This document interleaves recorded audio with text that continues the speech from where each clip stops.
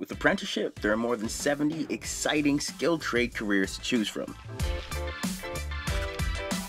Bricklayer is one of them.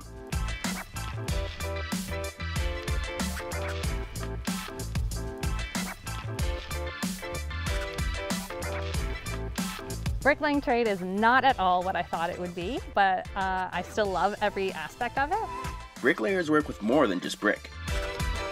They also work with concrete, block and stone to build and repair chimneys, walls, schools, fireplaces, and your favorite historical buildings.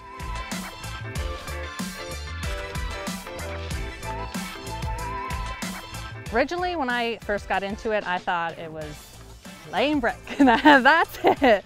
But um, we lay brick, block, stone, I'm acid wash, I do blueskin and waterproof in the walls, sometimes we're doing demolition. It's There's way more to it than people think there is.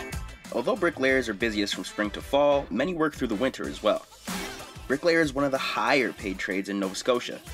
There are a lot of jobs in bricklaying. I know it's one of the highest demand trades and there is much more brickwork than we have bricklayers.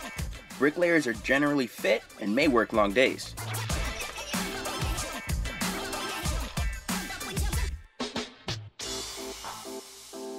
As you get better, people start showing you that respect and everything. Things start to kind of get a little bit lighter and easier, you know what I mean? You, you know, people depend on you, you know, they always, you know what I mean? They really respect where you came from. Bricklayers have a lot of room to grow within their field.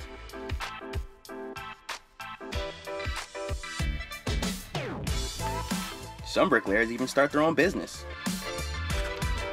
But success comes with hard work.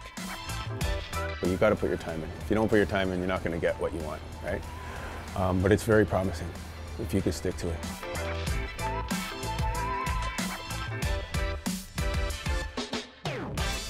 Bricklayer is a compulsory certified trade, which means that a person must be a registered apprentice or certified journey person to work in the trade. With apprenticeship, you learn a trade from someone who is already certified.